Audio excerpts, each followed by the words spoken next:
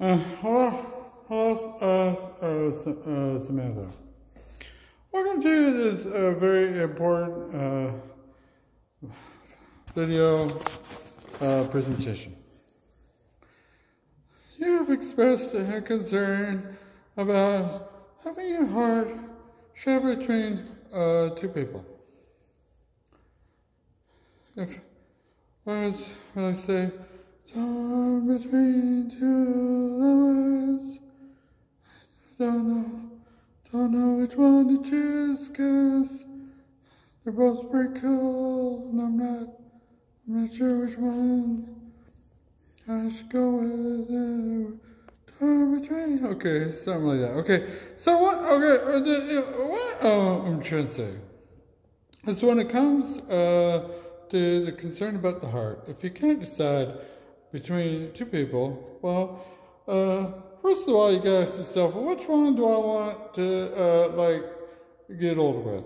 Not just the one that you you could get old with, but just the one you want to get well old with. And so you have that to consider. Um, but then you also got to ask yourself, maybe you can't decide between either of these two because maybe you don't actually Maybe you don't like those two. Maybe deep down you're just kind of going with these two, and it's like, well, these are two pretty good options. Maybe there's something better out there for for you. Maybe there's a third option you're not even considering. You gotta you gotta think about that because you just like maybe that's why you can't decide between the two because you're not all that excited about either one of them. You're just kind of going, ah, just go with whatever.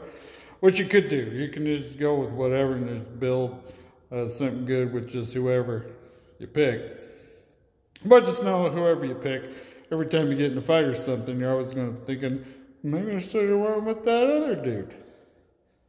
And you know, vice versa. So, so you're always going. to So, you, whichever one you pick, you're always going to be thinking. maybe Every time there's that dude, uh, you know, kind of disappoints you, you start thinking, maybe the other dude should have went with the other dude. And you're just going to do that forever. Between those two. But if you find a third option, then you're, well, you're still to, you're just actually just to do that with whoever. Unless you find someone who's just so awesome that you forget everybody else. So that's really, is the key is the one you should go with is the one that makes you forget everyone else. Okay. That's what I'd say you do. Okay, but you know, follow your heart and all that weird stuff. So, okay. All right, bye.